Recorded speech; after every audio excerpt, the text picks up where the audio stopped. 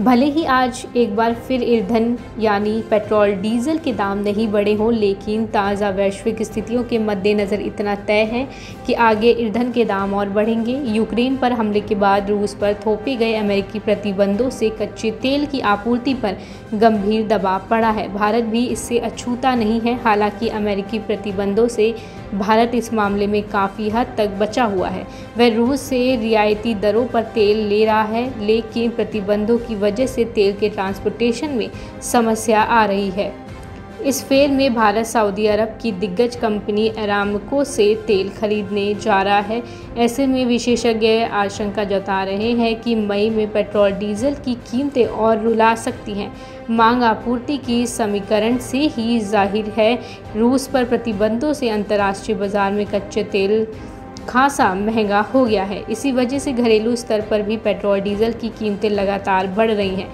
अब ये बढ़ोतरी मई में भी जारी रह सकती है। इसकी एक प्रमुख वजह यही है कि देश की दो प्रमुख तेल विपणन कंपनी सऊदी की अरामको से कम कच्चा तेल खरीदेंगी।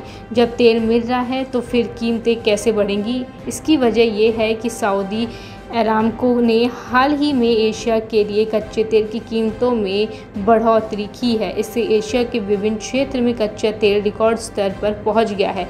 हालाँकि भारतीय कंपनियों ने एरामको की बड़ी कीमतों को देखते हुए मई में सामान्य से कम तेल खरीदने का फैसला किया है। फिर भी समझौते के तहत भारतीय रिफाइनरी कंपनियों को निश्चित मात्रा में कच्चा तेल को खरीदना ही पड़ेगा।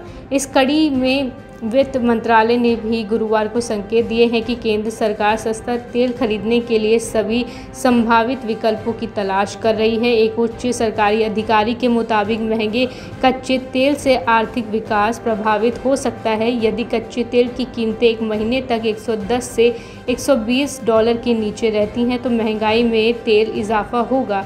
वहीं फरवरी, मार्च में भारत ने औसतम उन्नीस दशमलव तीन तीन डॉलर प्रति बैरल महँगा कच्चा तेल खरीदा है। खरीदे जाने वाले कच्चे तेल की कीमत फरवरी में नब्बे से ज़्यादा डॉलर के मुकाबले मार्च में बढ़कर एक सौ तेरह दशमलव चार शून्य डॉलर प्रति बैरल पर पहुँच गई है।